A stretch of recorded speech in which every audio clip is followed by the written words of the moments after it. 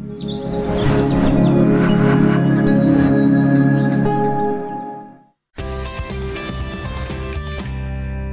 A dnes sa budeme rozprávať na tému plán obnovy. Už sme ju napokon avizovali a už sme sa v novom bývaní tejto téme viackrát venovali. A dnes sa budem rozprávať s pánom Jaroslavom Adamkovičom, ktorý je riaditeľom regionálnej kancelárie Slovenskej agentúry životného prostredia v Košiciach. Dobrý deň vám prajem. Deň. Minulý týždeň, ja si to veľmi dobre pamätám, sme sa rozprávali o opatreniach a typu A. Sú to opatrenia, ktoré ľudia by mali splniť na obnovu svojich e, rodinných domov, aby získali prostriedky z fondu obnovy. Hovorili sme aj o tom, že existujú aj opatrenia typu B, teda doplnkové, a tomu sa chcem venovať. Prečo sú aj doplnkové a aké sú to? Vrátim sa ešte k opatreniam typu A, ktoré sme predtým spomínali.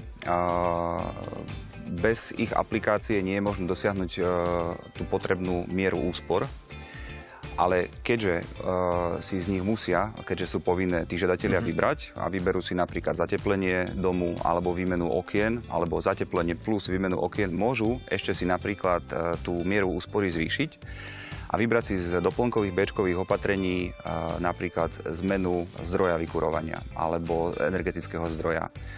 A tie opatrenia ponúkajú napríklad tepelné čerpadlo, plynový kondenzačný kotol, fotovoltiku, solárne kolektory, rekuperáciu alebo iný zdroj tepla. A tieto opatrenia sa všetky dajú podporiť z plánu obnovy a ja budem neskromný. Sú tam ešte nejaké? Samozrejme.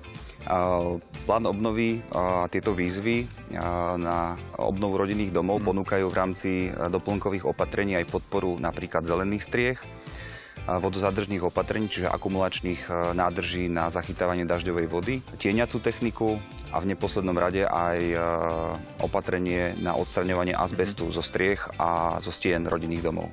Spomínali sme opatrenia typu A, teda povinné, opatrenia typu B nepovinné. Môžem si zvoliť len tie nepovinné?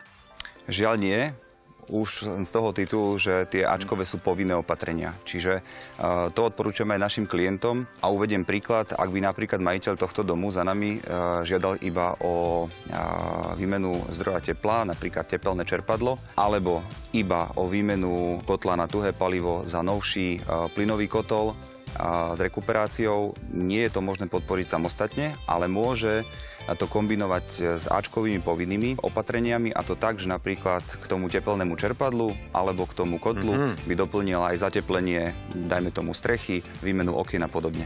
Už tomu rozumiem. Kde sa môžu ľudia kontaktovať? Tak v prvom rade si všetky potrebné informácie vedia nájsť na našom webe obnovdom.sk.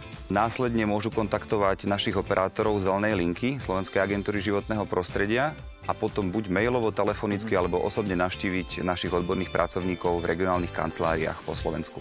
Ďakujem veľmi pekne za rozhovor, držím palce, aby projekty postupili a vyšli a tejto téme sa budeme venovať aj na budúci týždeň.